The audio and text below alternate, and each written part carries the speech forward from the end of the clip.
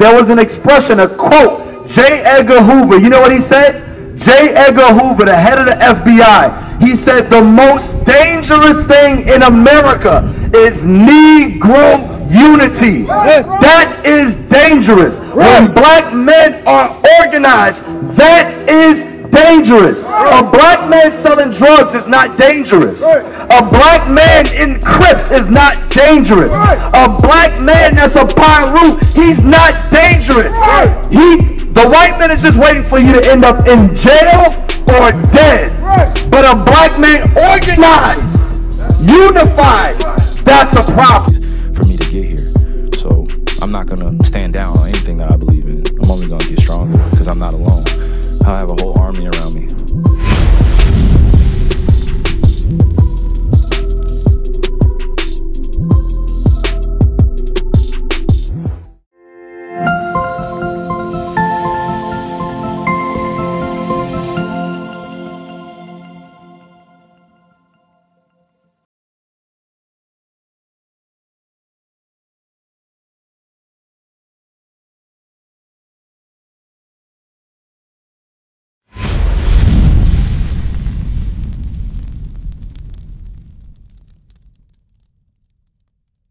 Matthew chapter 20 and verse 1. Why do we come out here? We're Israel United in Christ. We came out to Newburgh because blacks and Hispanics need to be set in order.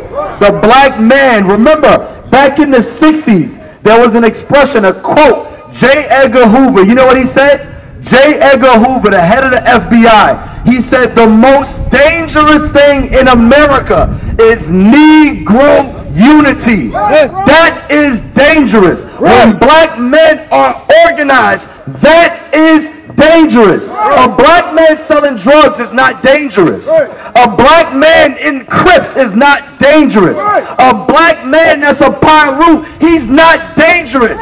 He, the white man is just waiting for you to end up in jail or dead. But a black man organized, unified, that's a problem. Get Matthew chapter 20 and verse 1. Listen to what Jesus Christ said to you black men. Come on. The book of Matthew, chapter 20, verse 1. For the kingdom of heaven is The kingdom of heaven is not for all nations. The kingdom of heaven is for you blacks and Hispanics. Read. for the kingdom of heaven is like unto a man that is in householders. So Christ, remember when he dealt with the people, he spoke in parables. Hold that. Get Revelation chapter 1. When Jesus Christ was speaking to the people, Christ was speaking to black people. Christ himself is black. Christ is not Caucasian. All these lying churches in Newburgh, none of these pastors are teaching the truth. Read this real quick for the people. Revelation 1 and 14. The book of Revelations, chapter 1, verse 14. Bring it out! His head and his hair. Who are we reading? We're reading the description of our Lord and Savior, Jesus Christ. Read it again. His head and his hairs were white like wool. What people have woolly hair? Black people, black people, black people, black people. Read it again. His head and his hairs were white like wool. See, you never knew this was in the Bible. You never heard this in your church. Read. as white as snow, and his eyes was a flame of fire, and his feet Now John looks down at Christ's feet. And what does he say? like unto fine brass. What color is brass? Brown. Brass is brown. Read. as if they burned in a furnace. As if they what? As if they burned in a furnace. As if they what? As if they burned in a furnace. That's why black men are not organized. Because you didn't know Jesus Christ himself was black. You didn't know Job was black. You didn't know Solomon was black. Any black man on the corner, any black man in the gang, you know why you're on that corner, you're in the gang? Because you don't know your purpose. That's the truth. We in the Bronx, we see that. We in Chicago, we see that. We in New Orleans, we see that.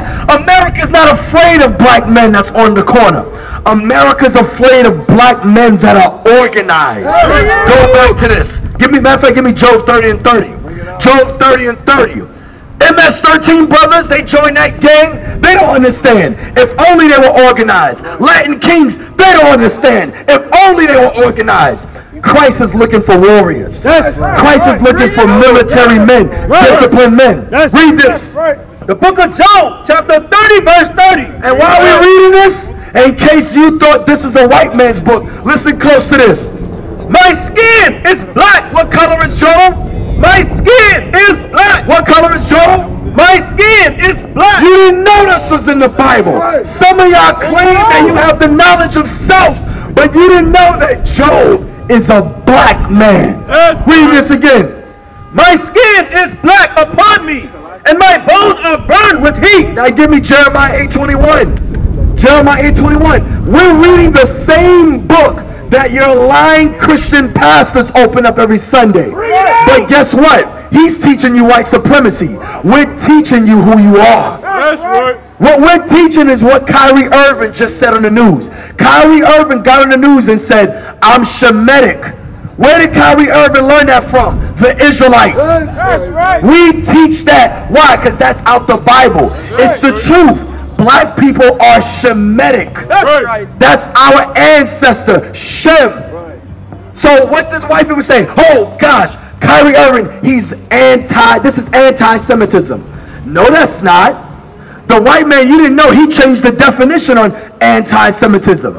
He changed the definition of it. He says anti-Semitism is when you are hostile or show hatred to Jewish people.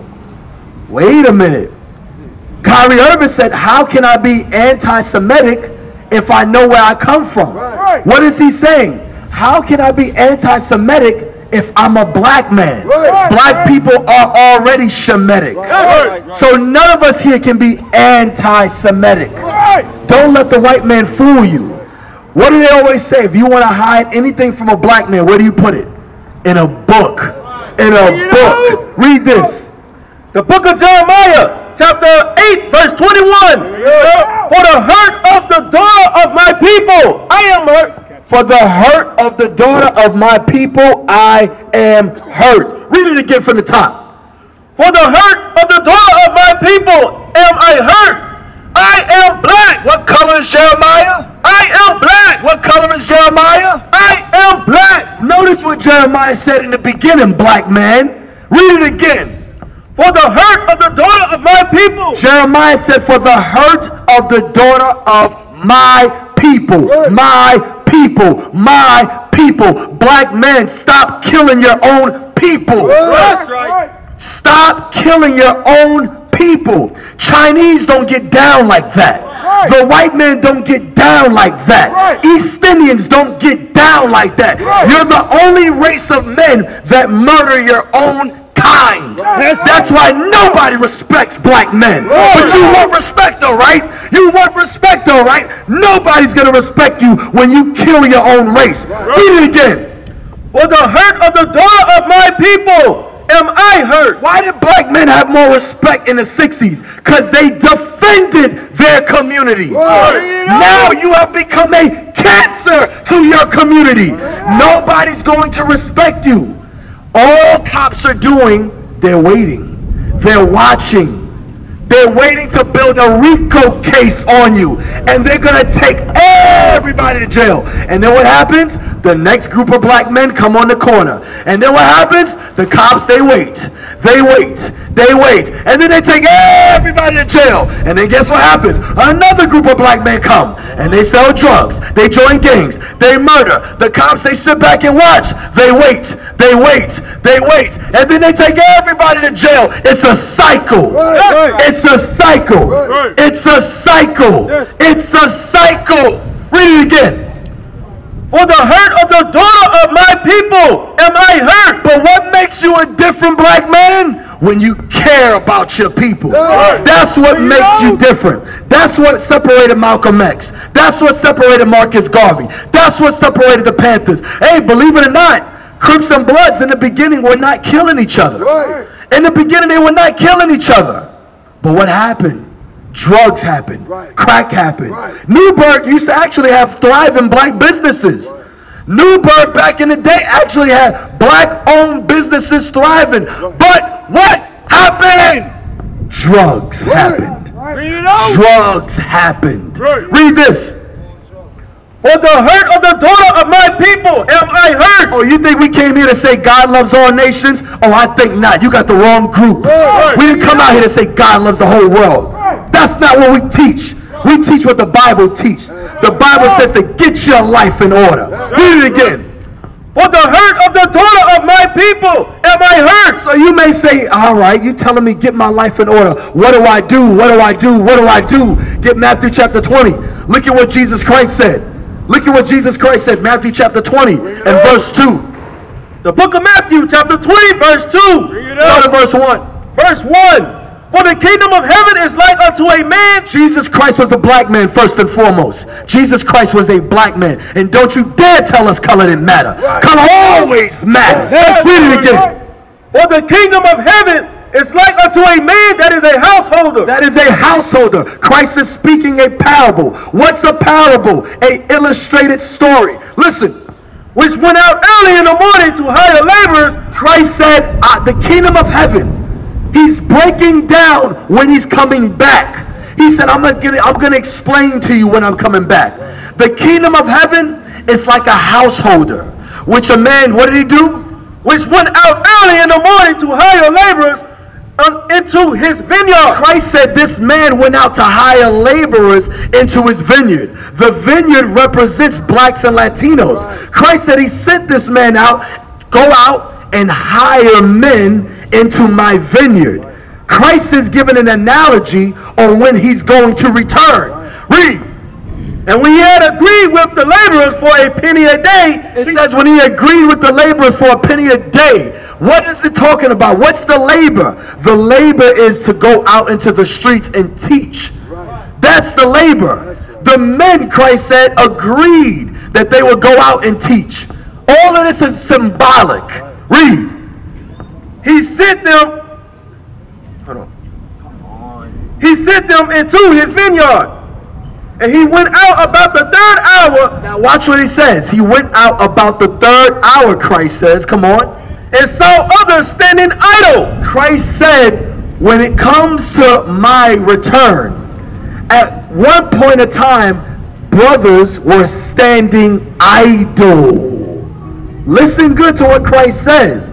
Christ, remember what he said. He went, sent a man out to gather laborers into his vineyard. When you are a laborer, you have a job, correct? But Christ said this man went out and saw some standing idle. Guess what? That's what we see. When we went to Chicago, on street corners, we saw some black man standing idle. When we went to Baltimore, on street corners, we saw some black man standing idle. When we went to Albany, what did we see some blacks and Hispanics? And I gotta say Hispanics, because Hispanics are black too. You know, some Hispanics think because they're light skinned, they're not black. Oh no, you black. And you may say somebody speaking Spanish, but you still black. Don't think because you're light skinned, you're not called a nigga too. Don't get it twisted. Read it again. And he went out about the third hour and saw others standing idle. So these men that were standing idle, what were they doing? Give me Isaiah chapter 51 and verse 20. The standing idle is what? Standing idle in the midst of sin. Christ, you're saying, you think Christ is just going to come. Christ said this, hold that real quick. Luke 17 verse 20. Christ is coming back. But it's our job, the men you see here in the street corner, and you brothers out here as well, is to build the kingdom. We have to do work in order for Christ to return. But Christ said, Before I came, I saw some of my people, the men, standing idle. Read this. The book of Luke, chapter 17, verse 20. And when he was demanded of the Pharisees, when the kingdom of God should come, he answered them and said, The kingdom of God cometh not with observation. He said, The kingdom of God does not come with observation. Meaning what? You can't just stay here and say, I'm waiting for Jesus Christ to return. I'm waiting for my Lord and Savior to return. No, you're supposed to be doing work. Right. You're supposed to be doing work. What's the work? Give me Isaiah chapter 51, verse 20. The work is to get young black men off street corners. Right, right. That's why. Because in Albany, in Newark, New Jersey, when we went to LA, when we went to Jamaica, when we went to Miami, when we went to New Orleans, when we went to Charlotte, North Carolina, every city, black and Latino men are on street corners. Why? Because they don't have a job. Right. Right. What do I mean when I say a job? Do I mean I'm talking about a nine to five? No. They don't know what their purpose is. Right. Right. They don't know what their purpose is. That's why we out here to show you what your purpose is. Read this. The book of Isaiah, chapter 51, verse 20. Thy sons have fainted. The Bible says, Thy sons have fainted. What has the black man fainted from? He's lost consciousness. What has he lost consciousness from? He doesn't know who he is. He does not know his nationality. That's why crime is high in your neighborhood. Right. When you go to Newburgh, look at the black men around here. Guess what? White people do not respect you. Chinese people do not respect you. East Indians do not respect you. Why? Because look at the conditions of your neighborhood. Look at the conditions of your neighborhood. Take a good look at Newburgh. Really examine how this city is. Who made it like that? You did. You did. You did. Who's committing the crimes? You are. You can't say this is the white man's fault. Did he play a part in it? Oh, yes, he did. But ultimately, before you put a gun on your waist and shoot somebody, is the white man saying, hey, go shoot him? Go shoot him. There is no white man telling you that. Right. You decide that. Give me Proverbs. Oh, wait, finish this. Isaiah 51 and 20. Thy sons have fainted. They lie at the head of all the streets. God says, Thy sons are at the heads of all the streets. That's what God says. This is coming out the Bible. Read it again. Thy sons have fainted. They lie at the head of all the streets. It says they lie at the head of all the streets. This is talking about black and Hispanic men. You are in the Bible. Right. And I know y'all didn't notice. Read on. As a wild bull in a net. Why does it say as a wild bull in the net? Can you control a wild bull? Can you control a wild bull? Can you control a wild bull? No. Think about it. When you see them games they're playing in Spain, when that bull is running, what are they doing? Running away from the bull. So what do, what do people do when they see black men? Oh God, there go them niggas. Stay away from them niggas. Them niggas ain't no good. That's how white people talk. I'm telling you the truth. They might call you Jeremy on your job or Raekwon on your job, but when they get home, they calling you a nigga. That's the truth. Right. Read it again. Thy sons have fainted. They lie at the head of all the streets as a wild bull God describes the black man as a wild bull. What is a wild bull? A wild animal. You cannot control a wild bull. That's blacks and Puerto Ricans. That's blacks and Mexicans. That's blacks and Dominicans. Read it again. Thy sons have fainted. Why does it say God? Why does God say thy sons have fainted? It starts with the sons first.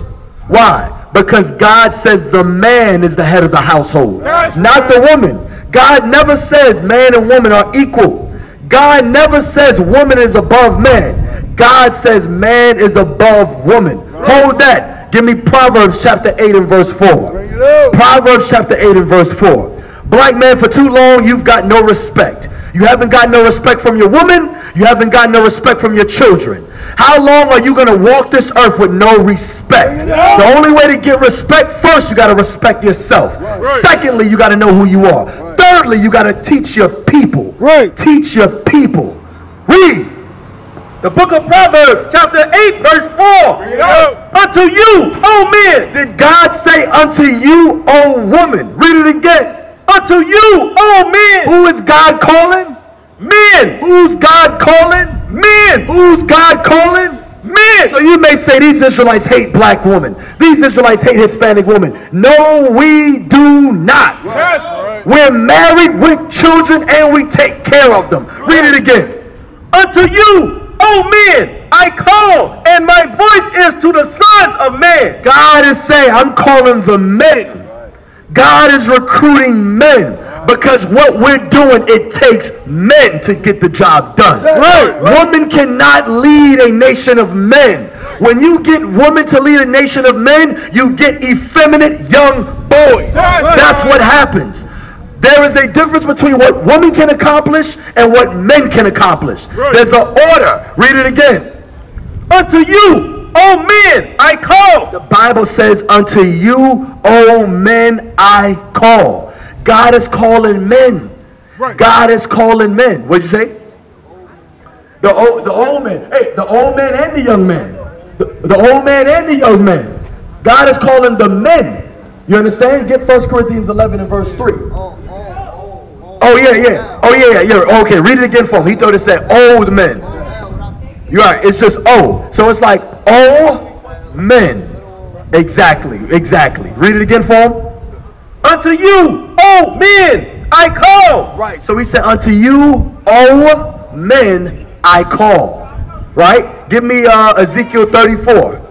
Give me, you, sis. Did you get a flyer? Did you get a flyer, sis? Give the sister a flyer. I think it's Ezekiel 34 and 20. My tabernacle is uh, ye the sheep of my flock, the flock of my pasture is men. 34, 31. Thank you. Thank you. Read this. Ezekiel 34, 31. The book of Ezekiel, chapter 34, verse 31. Bring it out. And ye, my flock, the flock of my pasture are men. Did it say woman? Are men. Did it say woman? Are men. Did it say children?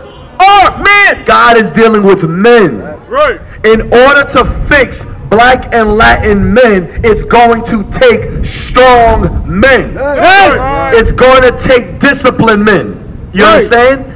It's going to take men to go into the worst neighborhoods to teach black and Latin men what their purpose is. Right.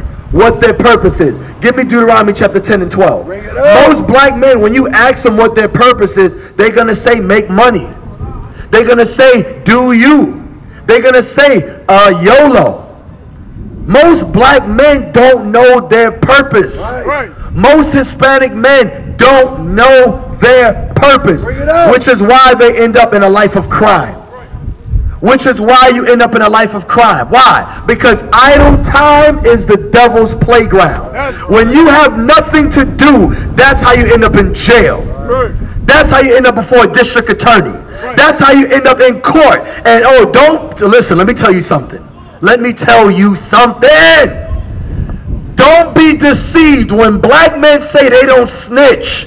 Trust me, they snitch. Right. When they hear you are facing 25 to life, they are going to give everybody up. Bring it out. That's the truth. That's the truth. Right. Very, very rarely, when somebody gets caught for selling drugs, for doing some type of illegal crime, and they get caught, very rarely will they say, I know what I was involved in. I made those decisions. Now I got to pay the price for it myself. Exactly. I'm, I'm, that's it. Most, you know what they're going to do? Okay. Tell me what you want to know. And let me know how much time is getting off my sentence. Bring it When you out. got- when you got, look, when you got five people in the car, When you got five people in the car, and, and, and, and, and, and, and it's a gun in the car, you can pull and it's a gun in the car, Right? yep. The whole destruction of the relationship falls not even half of the time by someone snitching, but just you not taking count. That's my. You, you not taking accountability. Exactly. You you But- go in the car with a bunch of all, bull. all five of us is gonna sit if you don't. Exactly. But I'm not saying You go in the car, saying it's for your you- gun. I'm not saying for you to incriminate yourself. Right. Don't incriminate yourself, but you you the one that bought it in the car. So uh, to own up on it. But you ain't- Be a man. But, but look, nobody. You knew you had the gun. I didn't have it. So why when we get pulled over, you want to be all quiet? You know why? Because you don't want your booty hole to get stretched out. That's why. You don't want to get those ankles spread over to the side, and when you get in jail, yes, they rape you in jail. Bring it out. Yes, they're gonna rape you in jail. You understand? Why, why are we saying this? Because for too long, young black men have been making the wrong decision. You understand? Give me Isaiah 42, 22. Isaiah 42. Hold, oh, you got Deuteronomy 10 and 12? Yes, sir. Okay, read this real quick. Deuteronomy chapter 10 and verse 12. Listen good, you young men. You young brothers and young men. Listen good. The book of Deuteronomy, chapter 10, verse 12. And now, Israel, what doeth the Lord thy God require of thee? The Bible says, what does God require of you? What do, a lot of people say, oh, I believe in God. I believe in God. But guess what? You're not doing what God says. God says, if you believe in me, keep my commandments. You understand? One of God's commandments is a man must have a beard. One of God, oh, oh, guess what? One of God's commandments is you're not supposed to celebrate Thanksgiving. That's right. Thanksgiving is a evil holiday. Right. Oh, you surprised, right? Oh, you're shocked. Thanksgiving is in honor of the slaughter of the Native American Indians. Right. You can't change what Thanksgiving means to you. You can't say, oh, Thanksgiving is a day where we like to thank God for our meal. No, Thanksgiving is in honor of the murder of Native American Indians. That's right. So when you celebrate Thanksgiving, you're honoring the slaughter of our Native American Indian brothers. Right. What's another way? Read this again. And now Israel, what doth the Lord thy God require of thee? So it says, What doth the Lord thy God require of thee? Meaning God requires something from you. What is it? Read. But to fear the Lord thy God, and to walk in all his ways, and to love him, and to serve the Lord thy God with all thy heart and with all thy soul. It says you're supposed to serve God with all your heart. Your heart is your mind. When you serve God, you're not going to be having sex with your brother's girlfriend. Because some of y'all do that. You got a brother and you're having sex with your brother's girlfriend. That's evil. Right. Some of y'all have sex with your auntie. That's evil. Don't act like I'm making this up. I'm not making this up. This goes down. This happens. Read it again. And now Israel, what doth the Lord thy God require of thee? So the Bible says, What does God require of you? Read. But to fear the Lord thy God, to walk in all his ways, and to love him. What does it mean to love God? I'm going to show you what it means to love God. You can't say, I love God, and you're a crip. That doesn't make sense. You can't say you love God and you G Stone. You can't say you love God and you a Latin king. That doesn't make sense. No. You can't say you love God and you an MS-13 with rosary beads. Right. You got six bodies on you and you say you love God. it. That doesn't, you don't love God. You love Satan. Right. That's who you love. That's who you love. You cannot tell me you sell drugs and love God. Your God is the devil. Right. Re- understand? Read this. Read on. And to serve the Lord thy God with all thy heart and with all thy soul, to keep the commandments of the Lord and his statutes. That's how you love God. To keep his commandments. One of the laws of God, women are not allowed to wear pants. Right. That's one of the laws of God. Women are only supposed to wear dresses and skirts. Right. These are commandments of God.